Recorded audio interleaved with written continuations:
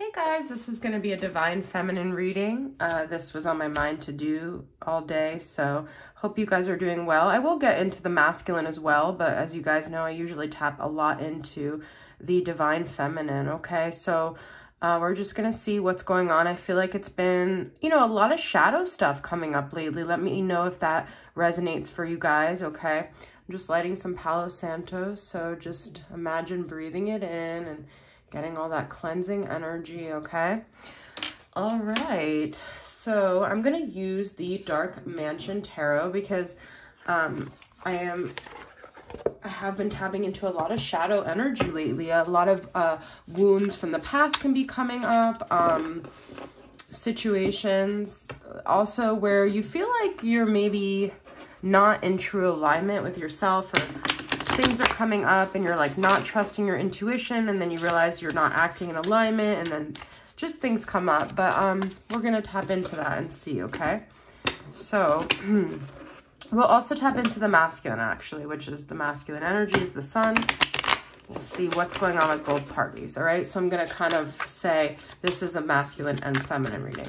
All right, and because sometimes knowing where the masculine's at also helps to know why we're at where we're at. We, we keep getting the masculine energy. We had the Emperor and the Sun, Six of Pentacles. We will get some communication from the masculine and I'll probably do an extended here on my Patreon.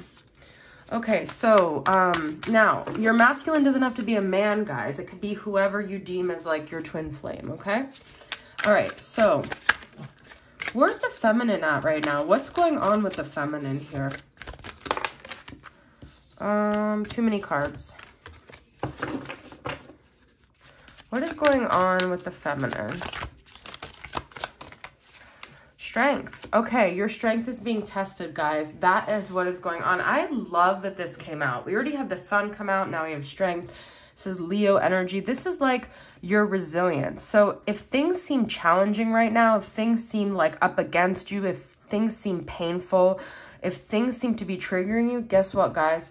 That means you're exactly where you're supposed to be. You're building your reserve and you're being tested by the universe. And I know you guys probably feel like you're always being tested, but this is the time to really kind of be using all the things you've been learning over the years, okay?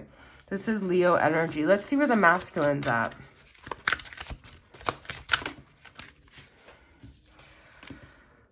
Nine of Swords reversed, okay? Five of Pentacles reversed, and these are all reversed. So you know what? I'm going to take them upright because when they're all reversed, King of Swords.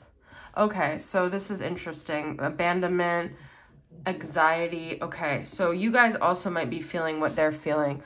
Um, if you guys have been feeling kind of almost like haunted by losses or abandonment, like you're not having nightmares or you're just thinking about a lot in your waking life, it's because your masculine is being, I feel the feminine is experiencing that with other things while the masculine is feeling that in regards to the feminine. Okay, so I feel like in the strength card and this whole thing, the masculine has felt very overpowered by the feminine's energy, like energetically, but also like there's a battle here, okay? And I feel the masculine, their tactic is always being very stoic, not letting you in on what's really going on with them. Now, when I say masculine, this could also be whoever you're dealing with, okay? So this person is like in a king of swords energy they're not emotionally open and it could be because of all the things they've endured the pain that they're afraid to face okay in a way you guys are stronger than your counterparts here okay so I wanted to use the decks from Aqua Moonlight, Untold Truths of the Heart, and Untold Truths, I mean, Untold Messages of the Heart and Untold Truths of the Heart.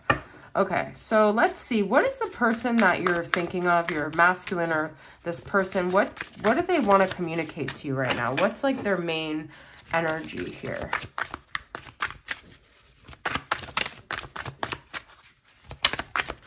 My throat has been actually kind of hurting. I've been going through a lot of physical symptoms this week. Love, my heart is opening and I'm ready. Wow. But that's so different than the King of Swords energy. That's complete opposite. So maybe you remember them as being very King of Swords. That is intense, guys. And then I said, I miss you, memory. Oh, Ooh, baggage. I'm sweeping away toxicity to make room for what's truly important.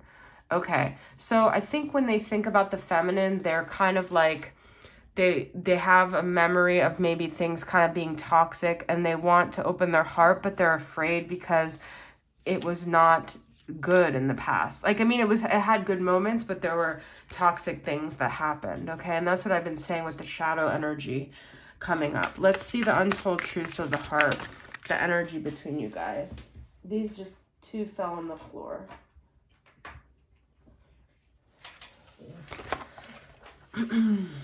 Elusive, intangible, dishonest, tricky, and beauty, charming, graceful, luxurious. I feel the only way they felt they could control you or the vulnerability they felt because they were very captivated by your beauty. They felt almost overpowered. And the only way they can take the control back is by being mysterious, by not letting all their cards show. It's like a way of control. And control, guys, is such a big dynamic in the counterpart situation, but just as you grow in your spiritual journey, you realize how much everyone is just trying to control to avoid vulnerability here, okay? Tension, turbulence, argument, stress. You see, and we have baggage. So there's some, there's a lot of avoidance because I feel the masculine feels like there's just always this, but what they don't realize is a lot of this, let's get one more, longing. Look at that. We have memory and we have longing. A lot of this has to do with, um, it says aching, pining, past love. You see, a lot of this has to do with their own um, inability to be honest. Okay. So there's some heavy energies here. There's anxiety, there's sadness, there's grief, and then there's also this controlling energy. That's how I see King of Swords. That's Gemini, Libra, Aquarius, and we had Leo come up.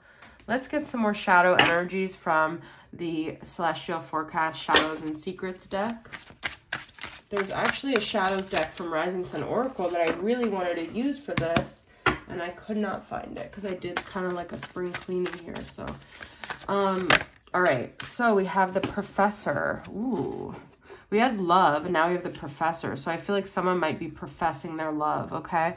Uses their intellect as a manipulative weapon to make you feel inferior. You see, guys? Uneducated or stupid, treats you like a child, lacks the ability to use their smarts in love and romance, foot and mouth syndrome. That's, yeah, I've, this is that, like, that ego trip thing that they're on, okay?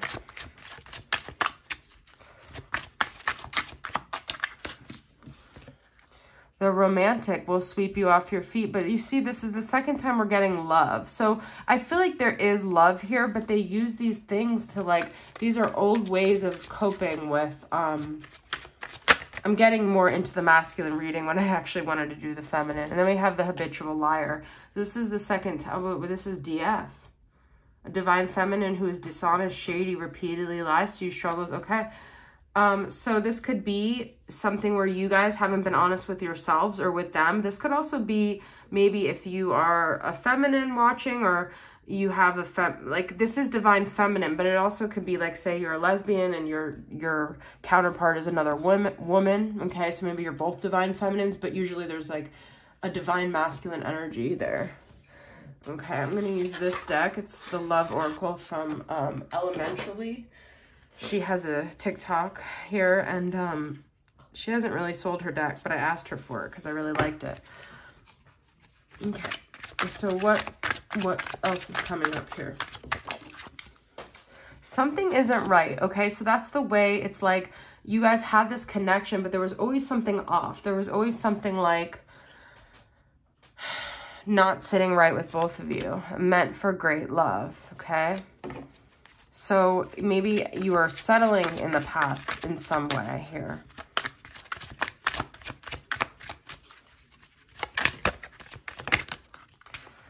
Intuition is usually right. You see, guys? And that's also what I was saying. You're not trusting. Trust each other. I just said you're not trusting. Um, but uh, this came up, okay? So trust. All right. Um, you guys, I'm going to move on to Patreon if you guys want to move on over there with me, um, you do have to be a member. It's five or ten dollars. I haven't really been separating who gets what, so it's just based on what you want to donate. Um, I'll put the link down below. and we'll just get a little more into this, okay? All right, thank you guys for being here. I'll see you guys next time. Bye.